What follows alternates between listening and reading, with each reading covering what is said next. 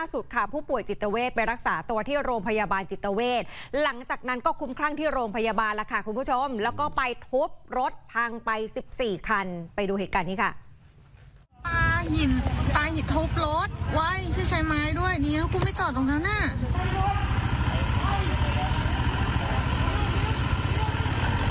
อ้ายว้ายอ้ายขับหนี้ก่อนพี่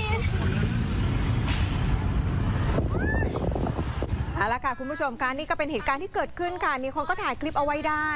นะคนกุ้มคลั่งคนถ่ายคลิปเป็นผู้หญิงก็กรีดกราดค่ะด้วยความตกใจนะคะ คือรถที่จอดอยู่ที่โรงพยาบาลรักษาผู้ป่วยจิตเวชจังหวัดนนทบุรีค่ะ ก็ถูกผู้ป่วยค่ะ ที่มีอาการทางจิตคุ้มคลั่ง แล้วก็อิดเนี่ยเอาไปไล่ทุบรถเต็มไปหมดเลยนะคะ ประมาณสัก 14 คันได้ค่ะที่ถูกทุบไป เริ่มทุบตั้งแต่รถที่จอดอยู่ด้านหน้า จนกระทั่งเจ้าของเนี่ย ที่เป็นเจ้าของรถนะคะ เจ้าของคลิปด้วย ร้องด้วยความตกอกตกใจ แล้วตำรวจก็พยายามเข้าไประงับเหตุนะคะ แต่ก็ไม่สามารถระงับเหตุการณ์ได้ เจ้าของคลิปบอกด้วยค่ะว่าเหตุการณ์นี้เกิดขึ้นค่ะ จากผู้ปกครองของผู้ชายคนนี้ยก็พาลูกที่เป็นผู้ป่วยจิตเวชมารับยา แต่จู่ๆค่ะ ลูกชายก็คลั่งขึ้นมากลางโรงพยาบาลเลยอะแล้วก็ไปคว้าเอาก้อนอิฐแล้วก็ไม้ไล่ทุบรถแถวนั้น 14 คัน ล่าสุดค่ะตำรวจไปตรวจสอบบอกว่าเหตุการณ์เกิดขึ้นนะคะ เมื่อวันที่ 1 ธันวาคมแล้ว คือไปถามกับแม่ผู้ป่วย บอกว่าวันที่เกิดเหตุอะลูกชายอายุ 22 ปีของแม่ป่วยก็เลยไปรักษาจิตเวชที่นี่ระหว่างนั่งรอยาค่ะ ลูกเริ่มหงุดหงิดแล้ว แล้วก็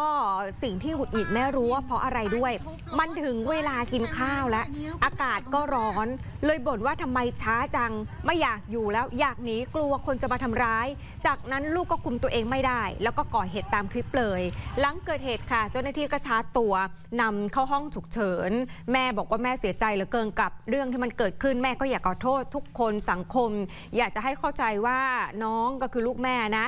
ป่วย ควบคุมตัวเองไม่ได้จริง ๆ และไม่ได้ข้องเกี่ยวกับยาเสพติดนะคะ เธอพยายามพาลูกมารักษาแบบเนี้ยส่วนค่าเสียหายแม่ยอมชดใช้ทุกอย่าง แต่ก็ตามกำลังที่มีละค่ะ เนื่องจากว่าเป็นแม่เลี้ยงเดี่ยวด้วยค่อนข้างลำบาก ฟังเสียงคุณแม่ค่ะรอเจ้าหน้าที่อ่าก็เลยหงุดหงิดอืมค่ะเหมือนจะสารสารจะหลังคัดหลังออกมาเยอะแล้วบวกด้วยความที่ได้เวลากินข้าว เพราะมันแปดโมงกว่าแล้วก็กินข้าว กินข้าวเสร็จแล้วก็คือร้อนนั่นแหละอากาศร้อน อากาศมันร้อนก็หงุดหงิดตอนเด็กๆน้องมีอาการอะไรสมาธิสั้นค่ะเราได้รับการรักษามาตลอดไหมคะรักษาตลอดค่ะเขาก็จะบ่นว่าทำไมช้าอืมก็เหมือนเขาจะจะหนีแล้วจะหนีคือกลัวคนมาทำร้าย ก็คือจะหนี ถ้าอยู่ก็คงโดนทำร้ายอะไรประมาณนี้